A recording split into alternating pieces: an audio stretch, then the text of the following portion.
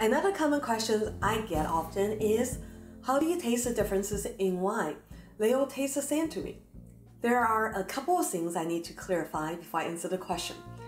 First, the question itself, how to taste the difference in wine is very general because there are major differences and minor differences.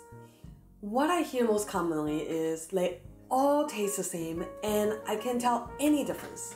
This is a broad, cover all statement that assumes your inability to taste the difference of any wines. I'm absolutely certain that this is not true. If I were to put a glass of German Riesling at 7% alcohol content, floral, peachy, peachy, citrusy, and sweet, next to a glass of California Zinfandel coming in at 16.5% alcohol content, dark fruited, dense, and jammy, most people will be able to tell the difference.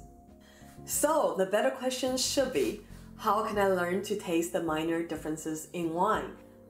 Now, first of all, know that this is a skill that can be trained for, not a talent someone was born with. The movies, the articles out there like to mystify the so-called super taster, making the general public believe that this is unattainable for most people.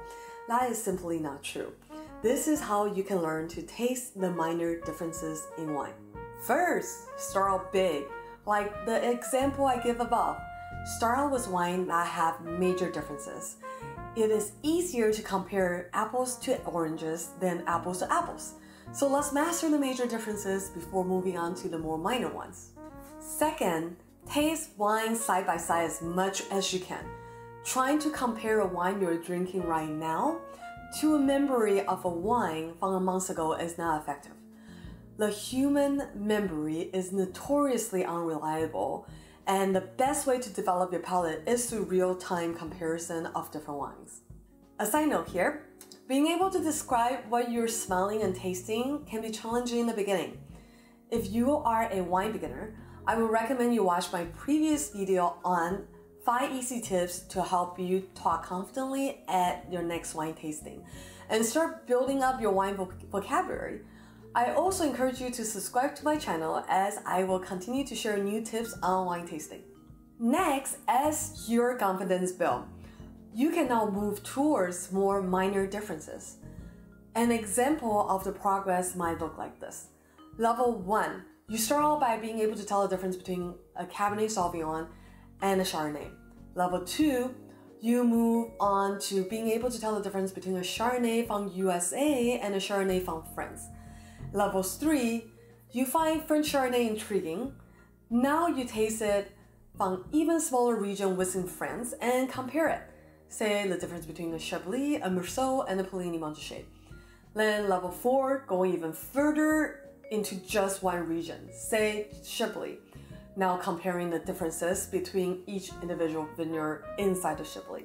It doesn't stop at level 4. You can go on to discover the differences in vintages, producers, and many countless minor differences in wine, making this a never-ending and super enjoyable journey for your palate.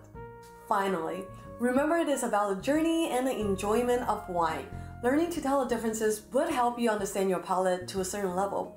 But don't feel stressed out about getting it perfect or comparing your skill and knowledge to other people. I see it happen in both professional and casual settings sometimes, and it really does suck the fun out of it. Have fun instead. That is wine are made for. Thank you for watching. If you like this video, go ahead and hit that like or thumbs up button.